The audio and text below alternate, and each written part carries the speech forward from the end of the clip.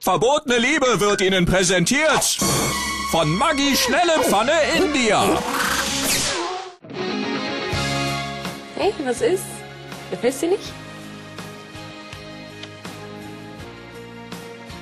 Cécile de Marron? Das geht nicht. Warum nicht? Du hast doch noch gar nicht versucht. Tut mir leid, Judith. Es ist zu spät.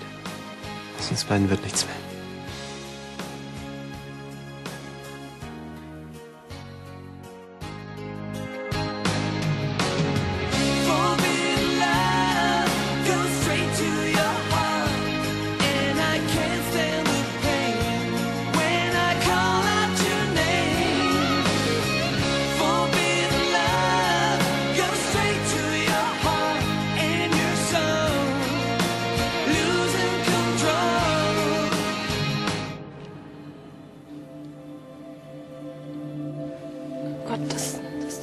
Leid, Leonard.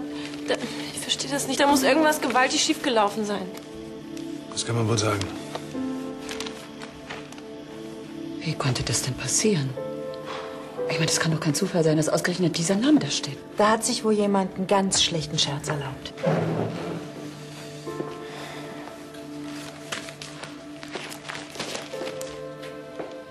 Tja, ich weiß nicht.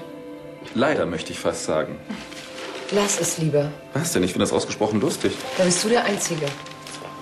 Ich hab, ich hab Herrn Matte die Vorlage persönlich in die Hand gegeben und er wollte damit sofort zum Verlag.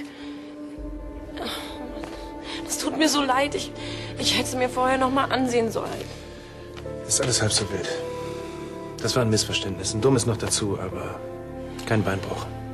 Ich rufe morgen den Verlag an und erkläre ich das, okay?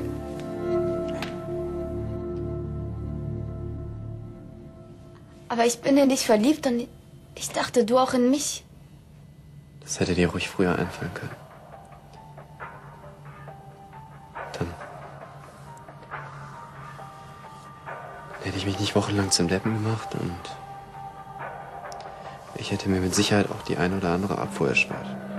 Ich weiß. Es tut mir leid, dass ich dich verletzt habe. Aber ich habe halt einfach eine Weile gebraucht, um zu merken, was ich will. Und ich will dich. Ich dich nicht mehr. Aber wenn wir beide ineinander verliebt sind, dann muss es doch möglich sein, dass... Verstehst du das nicht? Nein, tu ich nicht. Erklär's mir. Ich habe alles gesagt. Ich muss los, Judith.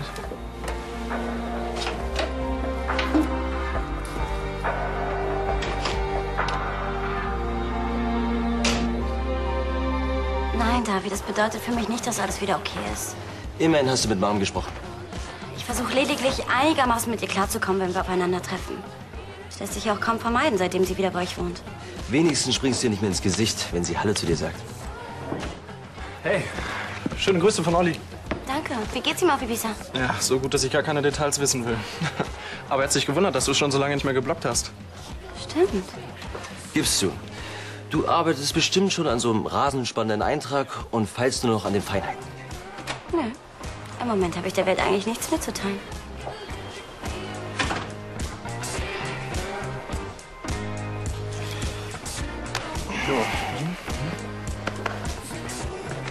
Hallo, meine Süße. Hallo. Meine Schwester hat wohl was Besseres zu tun.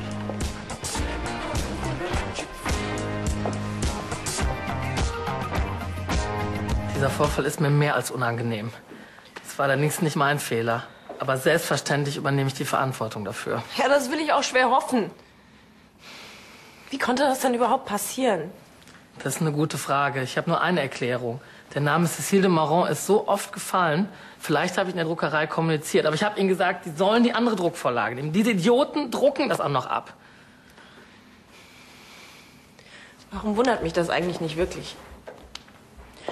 Alles, was ich will, ist eine schöne, normale Hochzeitsfeier. Warum ist das denn so schwer?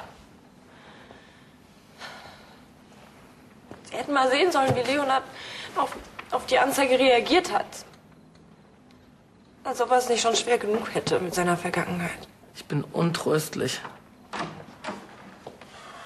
Matteo. Ich, aber ich wollte dir doch nur eine Freude machen. Oh, Kleine, das ist doch nicht so schlimm. Ich, aber ich, ich... Komm her.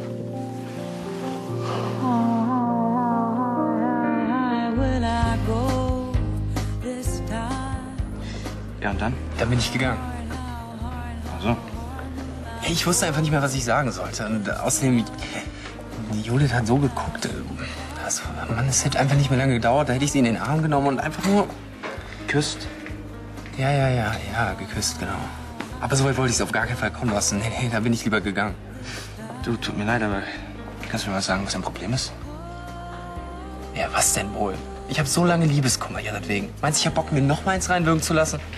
Judith hat sich für dich entschieden. Ja? Und äh, ich denke mal, Judith ist mit Sicherheit nicht der Typ, der, der jemand absichtlich wehtut, schon gar nicht, wenn, wenn sie verliebt ist. Kennst du sie so gut? Nee, äh, nicht, aber... Ja, also, Judith ist wie ein Flummi und nicht nur was ihre Gefühle angeht. Gestern war's damit, heute bin's ich. Ich habe keinen Bock zu warten, in wen sie sich vielleicht morgen verliebt. Wenn jemand so wirklich denken würde, hättest du nicht gern die Chance, dich dazu zu äußern?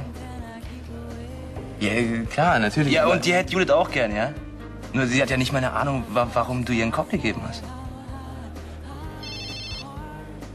Ja, tut mir leid, das ist ein Anruf aus den USA. äh, Ich muss ran. Mr. Driscoll, just a moment, please. Ja, denk mal drüber nach. So etwas wird nicht wieder vorkommen. Dafür werde ich höchstpersönlich sorgen. Ich habe schließlich einen Ruf zu verlieren. Ich möchte, dass Sie glücklich und zufrieden sind. Dann kann ich mich darauf verlassen, dass Sie sich um die Richtigstellung kümmern. Aber natürlich. Wegen der weiteren Planung werden wir uns mit Ihnen in Verbindung setzen. Ich stehe Ihnen zu Diensten und ich möchte mich nochmal in aller Form entschuldigen für den Fehler der Druckerei. Justus, würden Sie Herrn Mathe bitte zu seinem Wagen begleiten?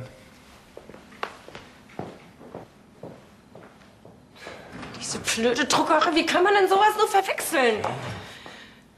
Ist doch wahr. Ich wollte dich damit überraschen. Ich, ich wollte, dass du dich mit mir auf die Hochzeit freust. Und Das tue ich doch.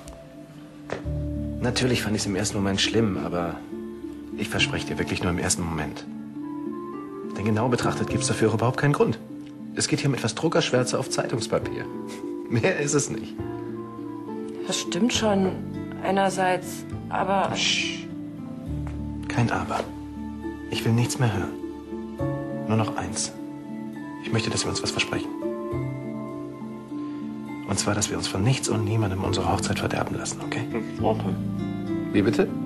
Versprochen.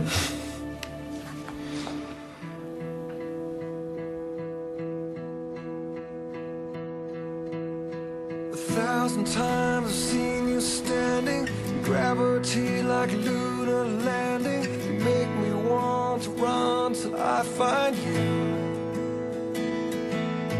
I shut the world away from here, drift to you, you're all I hear. 'Cause everything we know fades black. Half the time the world is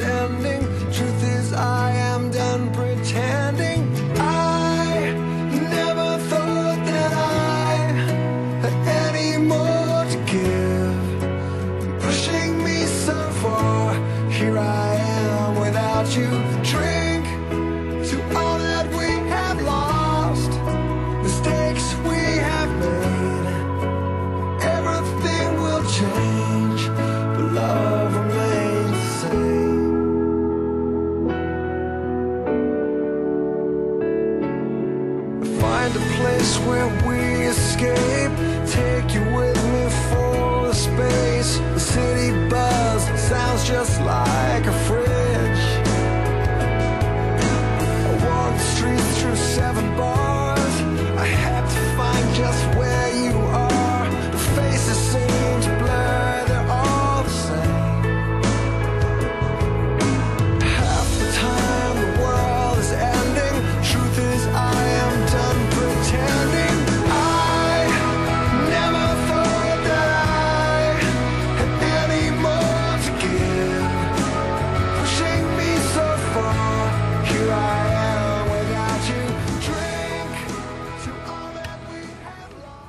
Gregor im No Limits arbeitet, muss es doch so vorkommen, als ob du hier alleine wohnst.